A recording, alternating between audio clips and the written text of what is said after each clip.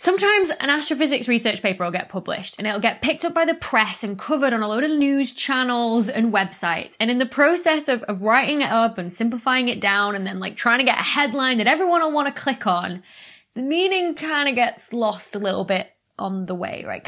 like a game of telephone. And by that point, you lot all see it and then get confused and then send it to me like, what is going on? And that is exactly what happened this month when I was buried in an avalanche of social media notifications about this news story. A black hole that is somehow forming new stars. Now, normally I'd save pieces of news like this for my monthly news recap series, my Night Sky News videos, but this is about one of my favorite things, black holes, and it's also really close to my own research too, so I figured, why wait? Let's chat about it now. So what happened was that a paper was published this month by Zachary Schutte and Amy Reines from Montana State University called Black Hole Triggered Star Formation in the dwarf galaxy Henize 2 10. And it was all about how the supermassive black hole in the center of this galaxy was causing new stars to form. Now let's just state this up front to clear up any confusion, right? That it is not the black hole itself that is making the new stars. Because yeah, it's a black hole. But it's actually because this black hole is what we call active. It is growing in mass by taking material from the surrounding regions of the galaxies to increase its own size. And unsurprisingly, that then affects the surrounding regions around the black hole of that galaxy where you will then form these new stars. Now, this is exactly what I look for in my research as well, but instead of the black hole causing new stars to form, I look for where the black hole stops new stars from forming. So how can growing a black hole somehow cause both new stars to form, but could also cause stars to stop forming as well. So to understand this, we have to understand the balance of forces around a black hole. So of course, yes, you've got gravity, very strong gravity because it's a black hole. It's pulling in gas from the surrounding regions. But as that gas comes in, it doesn't stay as a big blob of gas and just go straight into the black hole because the black hole is also spinning. Because whatever star that black hole originally formed from will also have been spinning and it's inherited that spin. And in the same way, when the gas comes in, it also gets caught up in the spin of the black hole. So it might start out as a big ball of gas, but it actually gets pulled into a big swirling disc in the same way that if you take a ball of pizza dough and you set it spinning above your head, you throw it up above your head, it flattens out into a nice flat pizza base, what you could call a disc. So the same thing happens to the gas around a black hole, but it's also the reason why all the planets in the solar system orbit in the same plane as well, because the gas cloud that formed the solar system, formed the sun and all the planets, was spinning, and so it all flattened out into a disk. So if you have an active black hole, we have this disk of gas swirling and orbiting around the black hole. And the particles, the molecules of that gas get accelerated to incredibly high speeds due to the strong gravity around the black hole. They get accelerated to high speeds. That means their temperature increases and the gas starts to glow. It starts to give off light. Now that light given off actually exerts a force outwards in the opposite direction to gravity. It's actually something we call radiation pressure. Now you might have heard that term before, but in reference to space travel. Imagine a spacecraft that you attach a big metal solar sail to it so that when light particles given off by the sun impact with that solar sail, they transfer their energy to it and that speeds up the craft. In the same way that if you have a sailboat on the sea, right, the wind causes air particles to impact with that sail, they transfer energy to the boat and the boat speeds up. There's actually enough energy in sunlight to accelerate a spacecraft in that way. And there's even more energy given off by these swirling gas disks around black holes. A phenomenal amount. So much so that if enough gas ends up falling into this big swirling disk around the black hole, then the radiation pressure builds and builds until it is enough to actually turn some of that material back around again push the gas that's being drawn inwards by gravity back out again in something we call an outflow.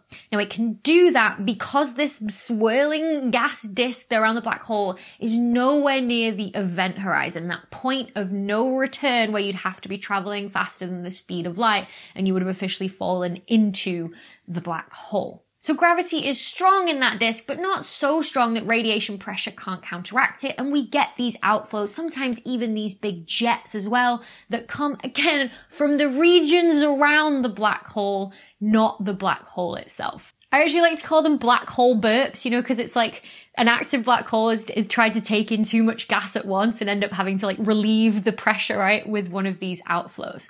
But of course, if you have an outflow, you're essentially sending energy back out, rippling through the galaxy and the surrounding regions.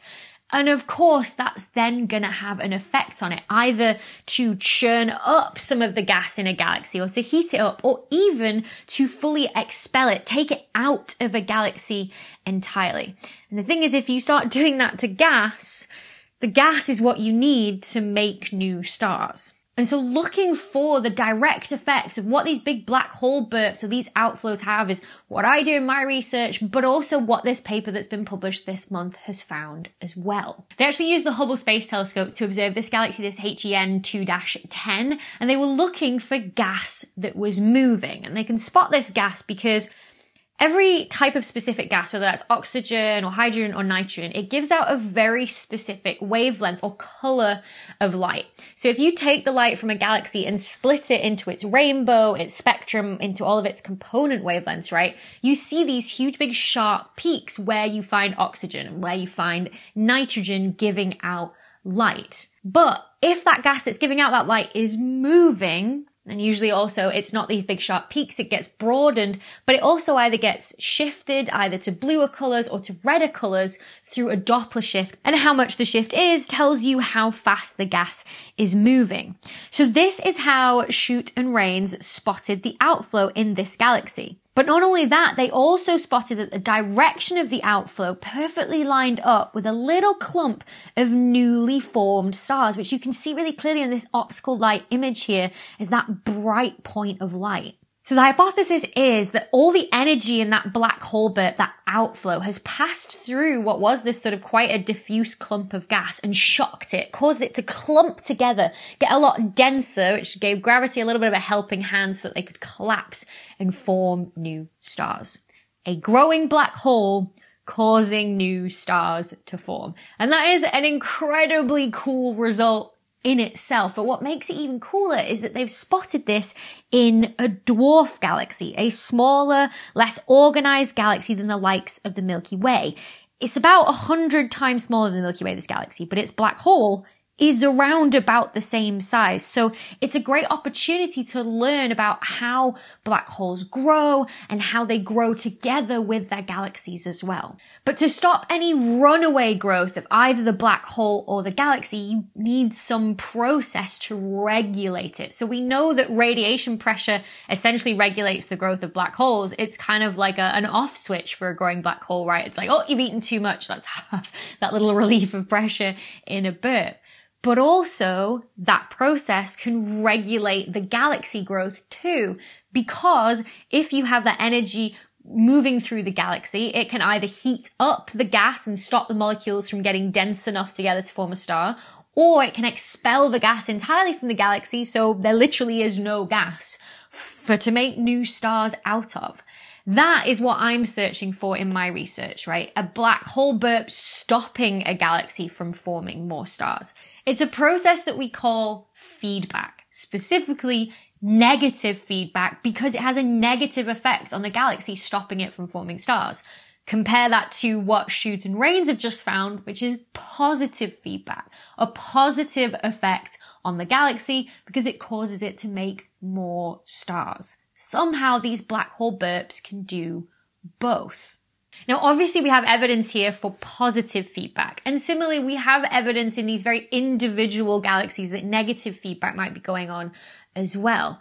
But the kicker is that in these big simulations of the universe that we do, where we put all the known laws of physics into a computer and then set it running and see what pops out and see if it matches, you know, the observations that we make, In those simulations, we find this process of negative feedback, the black hole growth regulating the growth of the galaxy, stopping it from growing too big. It has to happen in these simulations, in like all galaxies, in order for our simulations to match observations. But we haven't actually found evidence of it happening on a big statistical galaxy wide scale. You know, we haven't found it to say, okay, here's the galaxies that have an actively growing black hole and oh, look, they have lower star formation rates, right? And it might be to do with the fact that the timescales are different. So a black hole is not active for a very long time. And so you have to wait, you know, 100,000 years plus before you actually see any um, effect to the star formation when the biggest stars start dying off.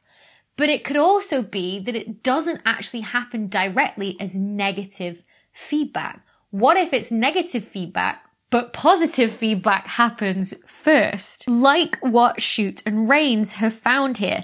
Hen 2-10 is actually what's known as a starburst galaxy. It's making far more stars than it, than normal than it should be. Like it's going on some huge star formation bender, right? But if that's what it's doing, if it is using up its gas all at once to make all of these stars at once, then in a few million years time or so, it's not going to have any gas left to make any new stars because of its huge bender that it did. So if that's what the black hole in HEN 2-10 is doing, it's, it's, it's burping up because it's eaten a little bit too much. and It's having to relieve that pressure in this outflow that is then triggering new stars to form so much so that it is this huge big starburst galaxy now then that will be positive feedback that eventually leads to negative feedback when all of those new stars start dying out and it's got no gas left to make any new ones. You know, it just happens through positive feedback first. So perhaps this result from Schutte and Reines about HEN 2-10 could end up being a very important piece of the galaxy black hole evolution puzzle. Before we get to everybody's favorite section, the bloopers, I just want to say a big thank you to this week's video sponsor, Brilliant. Brilliant is an interactive online learning platform that gets you to learn by doing the way that, you know, I personally learn best. So I just think Brilliant is so good. They have this ever growing catalogue of courses across math, science, computer science, whatever you're interested in that helps you learn concepts in a visual, hands-on way so that you retain information better. One thing I think is crucial for understanding physics better and especially physics research is that you need to think through problems logically, right? Brilliant has a great course on logical thinking, again, with fun, interactive content that gets you to think very carefully about a problem and the next step in the logical chain for that problem, essentially making sure you'll always be one step ahead, mathematically speaking, anyway. So if that sounds like something you'd be up for, to get started for free, head to brilliant.org forward slash Dr. Becky, or you can click on the link in the video description down below. And the first 200 people that go to that link are going to get 20% off an annual premium subscription. So thank you so much to Brilliant for sponsoring this video. And now, roll those bloopers. Like, oh my gosh, I should have looked up how to pronounce henais. Henais? I'm just, I'm just gonna call it hen. H-E-N 2-10. That rhymes. Stars to form as well. Well, to understand this, we. So how can growing a black hole cause both new stars to stars? What's that, Maggie? Oh, sorry. I just got really distracted. I'm reading through my notes on this video that I made. And like, I just keep noticing all of the five letter words that would be like really good to start off Wordle with. Like, I'm like, ooh, dough and like heard. Like I'm like, oh yeah, like double vowels, like triple vowels somewhere in there. I'm like, I need to, to remember these, like point. Great word to start with.